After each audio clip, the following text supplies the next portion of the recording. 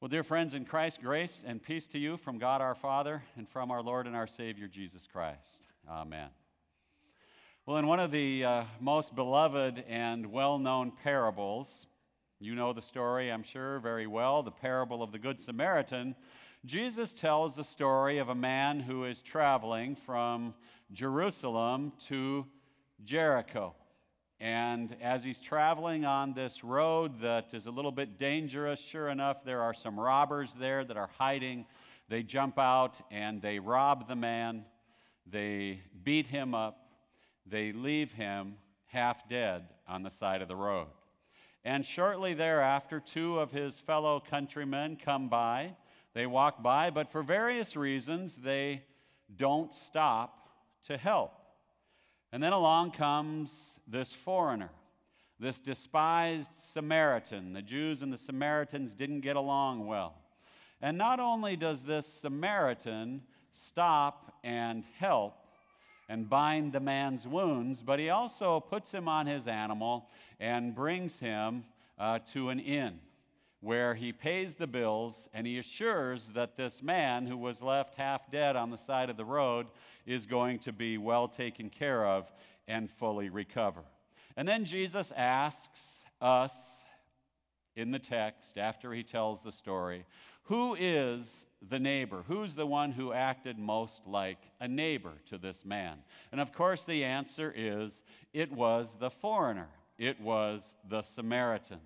So Jesus teaches us, and Scripture teaches us over and over again, to love our neighbors as ourselves, even when those neighbors are somewhat different than we are. And that's part of the reason, anyway, for this short series on taking a look at the three Abrahamic or Abrahamic faiths, those faiths or world religions that can trace their roots back through uh, the person of Abraham. Last week, we talked about Judaism. Remember, Abraham and Sarah had a son named Isaac, and through Isaac, God's covenant continued. Uh, the nation of Israel was begun, and through this great nation of Israel, God blesses the world. And for we as Christians, we see that as uh, most fully in that Jesus coming through the nation of Israel. But Abraham also had another son. It was not through Sarah, but it was through uh, a maidservant named Hagar. And Hagar became pregnant, and she had a son named Ishmael. Ishmael. And God promised a nation to come through Abraham and then through his son Ishmael as well. And this nation has become much of the Arab and the Muslim world. So, Islam, the world religion Islam, traces its beginnings back to Abraham and his son Ishmael. Now, I reminded you last week, if you were here, that Muslims in our world population make up about 24% of the world's population. So, just about one in four people around the world uh, are part of the, the uh, world religion Islam. 1.8 billion people. Compared to about 31%, or almost one in three, who adhere to Christianity, or 2.3 billion Christians around the world. Now, I don't claim to be an expert on Islam in any way, shape, or form, but I have read quite a bit, and I've taught a series of classes on Islam and on other world religions. So, I want what I want to do today in this sermon, that is kind of a teaching sermon as we move through this series, is to do two things. Simply, first, to give you a little bit of history on Muhammad, who is the uh, founder of Islam and the uh, final prophet uh, in the, the Muslims' view. And then, after that, take a look at some of the essential beliefs of Islam as well. And then see both the similarities and differences with our own faith, Christianity. And I do this so that you can, and we all can, come to a better understanding of our neighbor's faith, to maybe get rid of any unreasonable fears that may be there, and ultimately to love one another. And I think in the process, as we dig into other world religions, our own faith gets strengthened and our own faith gets sharpened as we see what it is that we truly believe and how that's different and how it's important for us. So, first, a little bit of history on Muhammad. The Prophet Muhammad was the founder of Islam, and he was born in Saudi Arabia in the city of Mecca in the year 570 AD. So that's roughly six centuries uh, following uh, the life of Jesus. Uh, Muhammad died in the year 632 AD, so Muhammad lived to uh, the age of 62. Now, Muhammad's father died when he was just an infant, and his mother died when he was only six years old. So, Muhammad was raised by mostly by one of his uncles. And he was, as he grew uh, into an adult, a very successful businessman. He worked the trade routes and he was in the trading business uh, there in Saudi Arabia, mostly between Mecca and Medina, where he lived after a while. Um, Muhammad got married at the age of 25. Uh, he had one wife uh, only, and she died some 24 years later. So he was married to her, the love of his life, for 24 years. They had six kids together. Uh, two were boys. The first two were boys, and they died in infancy. And the next four were girls or daughters, and they lived uh, on into adulthood. Now, Muhammad was, as I dig into his life, uh, what you might call a spiritual seeker. He studied a lot. He, he, he, he didn't read in his day. There were many people in his day that weren't educated enough to read, but he did listen and he learned and he knew the stories of the Old Testament and the New Testament. He knew our scriptures very, very well. He was a spiritual seeker and he dug in. So he was convinced that the God of the Jews and the God of the Christians was the one true God. And in Arabic, God is translated Allah. Like in Spanish, it's translated Dios. There are different names for God in different languages. In the Arabic, it's Allah. Christians in the Arab world uh, refer to God as Allah as well. That's the word translated. But a long story short, at the age of about 40, Muhammad uh, was praying, and he was a man of prayer. He prayed a lot. But he went off by himself and he was in a cave. He went into a little cave that he would often go to to spend some time in prayer. And he said at this particular time, he was about 40 years old, he said that he felt while he was praying in this cave a lot of pressure on his chest. He felt another presence and there was pressure. And then he said that he heard the word recite, recite. And he heard it over and over again. And he said that he said out loud, Recite what? What is it that I am to recite? And the angel Gabriel, he said, appeared to him. He said that Gabriel was speaking, being a messenger for God, and gave him words to speak. He said he didn't know if he was kind of going crazy or if this really was God. He talked to his friends afterwards about it, and they said, What did he tell you to recite? And so, as Muhammad told his friends, they wrote down his words verbatim, word for word, of what it is that he felt the angel Gabriel said to him.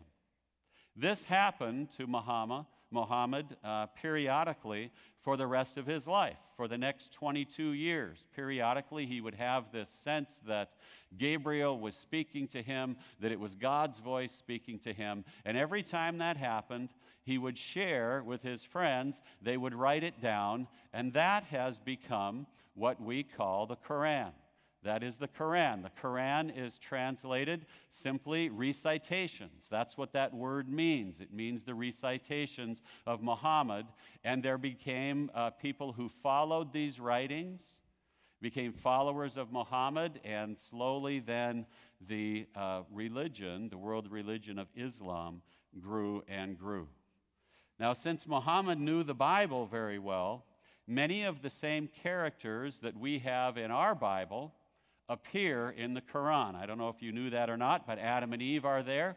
Moses is there. David is there. Uh, Mary, the mother of Jesus, is there. Jesus is even there. Jesus appears in the Quran about 70 times. Um, some of the stories are a bit different, but uh, Muhammad recited uh, many of the miracles of Jesus, and he said that Gabriel recited them. Some of them are very similar to our scriptures, some of them have been changed and are a little bit different.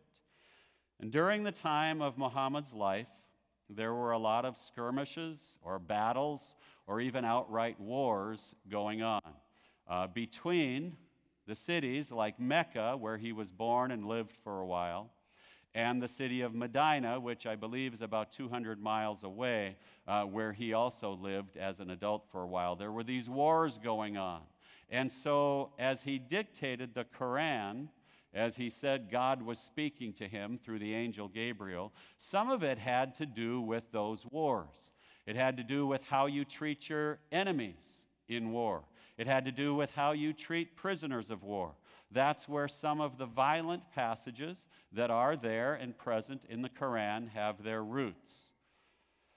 There's a lot more that we could say about Muhammad. It's very interesting to dig into his life. So I encourage you to do that a little bit more on your own. But I want to move now from Muhammad, as I said, to some of the essential beliefs of Islam. What is it that Muslims believe? The word Islam has the same root word as the word shalom. You can hear the similarities shalom, Islam. So for Muslims, they say at the root of their religion is that word uh, peace or peace be with you. But Islam can also be translated and is more commonly translated as a submission, submitting to God. They believe that their whole lives are to be submitted or in submission to God. That's not unlike us, as we believe that God calls us to submit ourselves, to give our whole lives over to God uh, so that God can use us in powerful ways.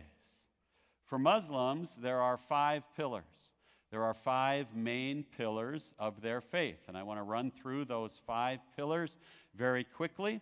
Number one is a profession of faith.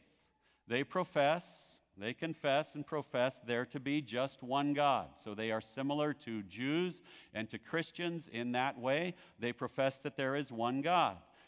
And then they take that a little bit further in their profession that Muhammad is God's final prophet. We disagree with that. We do believe in one God, but we don't see Muhammad uh, as a way of uh, correcting the New and Old Testament as the Muslims believe. But pillar number one, a profession of faith. Pillar number two is prayer. For Muslims, they are uh, required to pray five times a day, beginning before the sun comes up and ending about an hour and a half after the sun goes down. And then there's three times uh, in between, sun up and sun down. They pray five times a day. That's similar to some of our teaching. Jesus calls us to pray without ceasing. The Bible tells us to pray always. And so uh, I think it would be a good idea if we would have five times when we would stop deliberately, or even more, where we would pray to God. So prayer is pillar number two. Pillar number three charity. Muslims believe that a portion of their annual income is to be given away to the poor or the less fortunate. So, profession of faith, prayer, charity. Pillar number four is fasting. Fasting. Muslims fast on a regular basis as a, as a way to assist them in their spiritual journey, most often during the holy month of Ramadan. Ramadan is a month during their calendar year uh, where Muhammad uh, is said to have had his first revelation from God. So that's why that is a holy month, and they fast during the month of Ramadan from sunup until sundown. That's pillar number four. Pillar number five is this pilgrimage.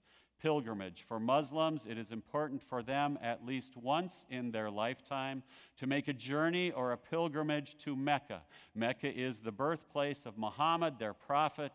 And so, those that are financially able and those that are physically able are to make a pilgrimage to Mecca at least once in their life. During, uh, during that time, there are certain rituals that are done while they are there. And each year, there's an estimated about 2 million Muslims that make their way from around the world uh, to Mecca to carry out this pilgrimage at least once in their life.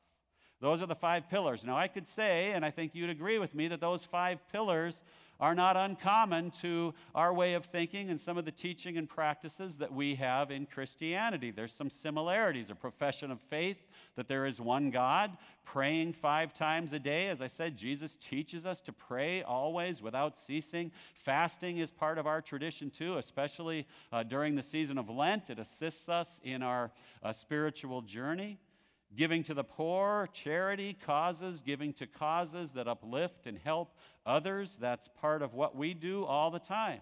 And then pilgrimage, number five, I think it's important if we're able to sometime to get to the Holy Land, to walk where Jesus walked, and to see those sights. It strengthens our spirituality and our faith in Christ. So, those five pillars of Islam, I think good and beneficial teachings, similar to a degree to a lot of the practices and teachings we have with Christianity. And it's important for us to understand that and to know that there are some things that we have in common with Islam.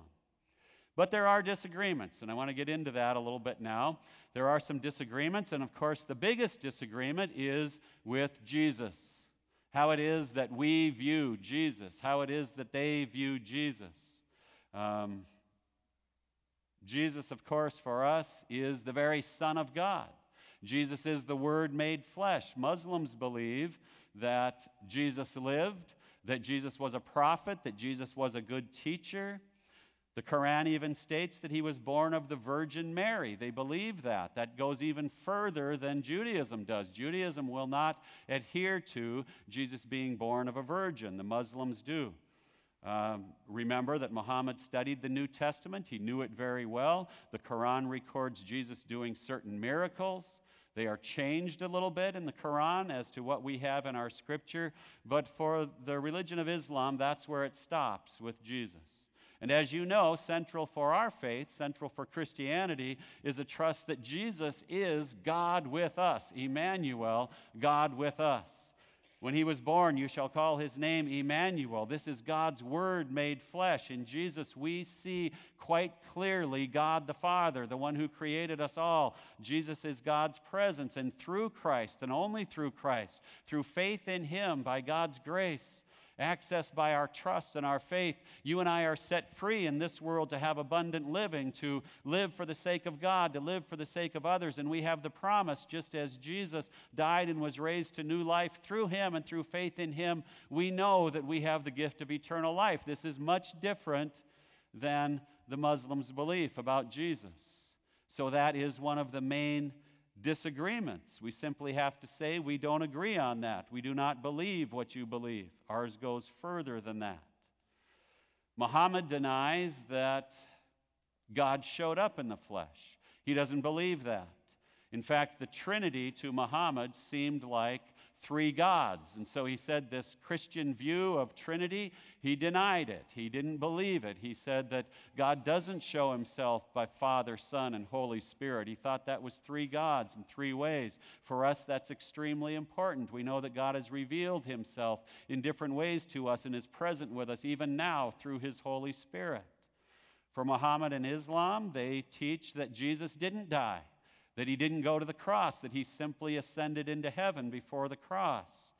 And for the gospel writers, Matthew, Mark, Luke, and John, and certainly for Paul and the letters and the other writers of the New Testament, and certainly central for us, the cross of Jesus Christ is essential. So we simply say we disagree. The cross of Jesus takes our sins, as we heard with the children today, puts them to death. The power of sin, the power of death is defeated once and for all by Jesus on the cross. And so to deny Jesus' death on the cross really uh, undermines what we believe as Christians. And Muhammad could not get that far. So we simply say, we disagree, and it's a major disagreement. One more thing quickly a disagreement. The Quran for Muslims is God's holy word, it is sacred. It is God's final and definitive word. We don't believe that while maybe Muhammad was sincere, that he heard something, that he felt something. We don't believe that his recitations are God's sacred word. We don't believe that there was any corrective needed to our Old Testament and to our New Testament. Those stories didn't need to be changed, they were uh, inspired by God and by his Holy Spirit. And for us as Christians, as holy as our Bible is, the final and definitive word for us is not a book.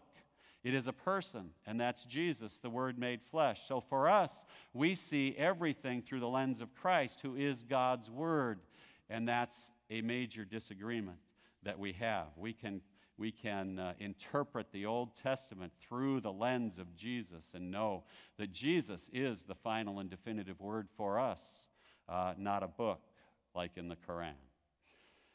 So as I wrap up today, I just want to do one more thing and that is to address what is, I think, a big question understandably so, for Christians and for others about Islam. And that is the question of violence and the question of violent passages in the Quran. Now, if you're old enough, you, like me, still have images in your head of airplanes flying into the World Trade Center buildings on September 11th, 2001. And when that was happening, there were some radical Arabs that were chanting, God is great, in Arabic. Terrorism, as you know, is alive and well around our globe. And of course, we denounce it and we condemn it in all of its forms, whether it's trucks running over people in the busy city streets, or whether it's madmen shooting down on a Las Vegas concert going crowd. It all wreaks terror and it goes against God's wishes for our world. Christianity is very honest about that, and that's what I love. One of the things I love about our scriptures in Christianity. It says very clearly that we live in a broken world. We live in a sinful world, and unfortunately, this world has some mad people within it. So we get warned about Muslims because of some of those violent passages and some because of some of that terrorism. We get warned and scared by things like a Jihad Watch website. I think it's easy to scare people about other people who maybe believe differently than we do and dress differently than we do, especially when we don't spend time together with them. But the reality of Islam is this that an enormously vast majority of the 1.8 billion Muslims in this world categorically condemn that kind of violence. They condemn it like we do. The violent, mad groups of radical Islam are fringe groups that do not represent most of Islam around the world. ISIS, for example, takes the idea, the Islamic idea of jihad, which for most Muslims means a striving against obstacles in their life, a striving against sin or sinful behavior or habits in their life. They strive to live a better life. That's what at least part of what jihad is about. But these radical groups take jihad, they take it and they, uh, they turn it into revenge, they turn it into killing. And we condemn that, no question about it. ISIS and other groups have killed, by estimation that I was digging into, approximately 2,000 Westerners, 2,000 people in our Western world, which is awful, and we condemn it. But did you know that ISIS has also killed about 165,000 other Muslims within their own countries? This makes them to be radical and not really followers of what Islam teaches, because Islam teaches, in the Quran anyway, that Muslims are not to do harm to other Muslims. Yet these groups have killed 165,000 other Muslims and counting in the name of power and control. Now, I think that Jesus, as God's most definitive word on this, definitive word on everything in our world, has a lot to say about it, and I think Jesus gets it right. He has the best view. He says this He says, Love your neighbor. He says things like, Pray for those who persecute you. He says, Turn the other cheek. We may seem that to be hard. We may think it's difficult teaching. It is difficult teaching, but this is God in the flesh saying these things. He says, Blessed are the peacemakers. Jesus wants to turn this world that has been turned upside down by sin, upside down by terrorism, upside down by violence, and he wants to turn it right side up again to, more, to better reflect God's will in this world. And Jesus models that in his life. He teaches that in his life. And even when he goes to the cross, what does Jesus do? He prays for those. Father, forgive them for they know not what they do. He prays for those who are nailing the nails through his hands and through his feet. You see, for Jesus, that is the only strategy that ultimately will win in the end. And so, most Muslims put those violent passages in the Quran back into their original context with those wars going on when Muhammad was living. It's just like we do with the Old Testament. There's some similarities with the violent passages in the Quran and the violent passages in the Old Testament. Did you know that there are some violent, violent passages in our scriptures in the Old Testament? Listen to this in Deuteronomy 13. It says this If your wife or children say, Come, let us worship another God, you are to kill them with your own hands. It's right in our Bible. The Torah in our Bible says this If a priest has a daughter who is a prostitute, you are to burn her alive. That's awful stuff. That's terrible stuff in our scripture. And what do we as Christians do with that? If anybody saying they were Christian was living that out, burning people alive or killing people, we would say they are a radical fringe group not representing Christianity.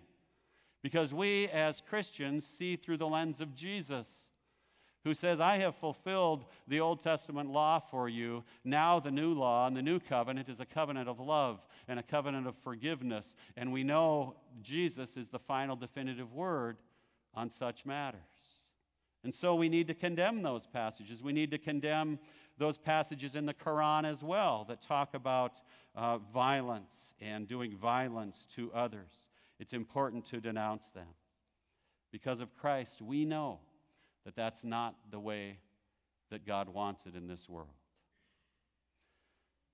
I want to close by just simply reading an email. It's an email that I received this week from uh, one of our members, Aaron Schultz. Aaron and Danelle are back here. Aaron, thanks for uh, sending the email to me. He sent it on, uh, on Monday night, and uh, Aaron and family were in church this past Sunday, and we started this series, and we took a look at Judaism and talking about understanding our neighbors and loving our neighbors. And so Aaron sent this email, and of course, I have permission from him to share it with you, but um, we can put the picture of Aaron too. Uh, Aaron has, uh, is there in the center, and he has uh, served our country very, very well uh, in our military in this country. And uh, he just writes these words. Uh, he says, Good evening, Tim. I hope all is well with you and your family. He says, We were at church Sunday, and your sermon, Love Your Neighbors, made me think of my experience with Islam and the Muslim culture when I was deployed to Afghanistan from 2010 and 2011. Anyways, we became good friends with some shopkeepers. Uh, there they are, a couple of them on our base in Kabul. We always greeted them with, uh, Aaron, can you shout out how that greeting goes? Okay, I don't know if I could pronounce that, so I wanted you to, wanted you to do it since you're here. Uh, but they would greet one another with that greeting, peace upon you. Uh, this was a common greeting uh, among them. We met with them on a regular basis to discuss family, to learn more about their country, to learn more about their beliefs. Many times we would meet during uh, lunch and we'd prepare lamb and rice and bread and tea with them. This was the most popular meal for the Afghanistan people. You could say that we broke bread with our new neighbors. It was great visiting with them. As a matter of fact, uh, when I learned about their families, I had soccer balls and Barbie dolls shipped to me so that they could uh, give them to their children during Christmas. And he says, of course, we had to explain Christmas and we're able to share what Christmas meant and the coming of Jesus, and uh, they understood that it maybe was similar to some of the celebrations they do during the month of Ramadan in their culture. They understood soccer, uh, but they didn't understand American football, and we shared many laughs talking about the American culture and traditions. And Aaron ends this email with these words He says, They were very happy to have Americans in their country to rid the world of the brutal Taliban soldiers. My overall impression with these Muslim men is that they want the same as you and me peace, happiness, and loving families. I think as we get to know one another, just as Aaron had the opportunity to do in Afghanistan, as we get to know people who, yes, have some major, major disagreements in the faith with we do, and it's important for us to claim our faith and to share it and to say it and to tell it, to tell of the hope that we have within us in Jesus Christ. But it's also important for us to learn from our neighbors, to understand them. And as we do that, as Aaron did, and as you and I have opportunity to do, not just with, with Jews or Muslims, but others who have different beliefs, this world in which there are a lot of barriers. We put up a lot of barriers, man made barriers and walls between people. And I think God calls us to an understanding of one another, that we can begin to break down those walls, that we can see some of the fears or misunderstandings that we may have uh, may not be accurate as we get to know one another. So, this message on Islam is simply a way of kind of wetting your whistle if you didn't know a lot about it, maybe to dig in and to maybe even uh, get to know some of uh, your Muslim neighbors in a better way. Thanks, Aaron, for uh, sharing that uh, and allowing us to share that today. Um, so, this week, Islam. Next week, we're going to take a look at Christianity. I do profess to be a little more of an expert on Christianity than I am on Islam, so we'll dig into that uh, next week. But uh, important for us to really take seriously that teaching and mandate that Jesus gives us to love our neighbors uh, as ourselves. So it's in His name that we say, Amen. Now may the peace of God, that peace which passes all understanding, keep your hearts and minds in Christ Jesus. Amen.